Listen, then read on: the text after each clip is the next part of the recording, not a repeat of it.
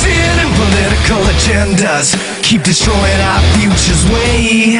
It's a path leading to ruin, and it fuels my rage. So I fight for all unsung heroes. I'm reaching out, I'm reaching out. I'm not a stranger to the danger.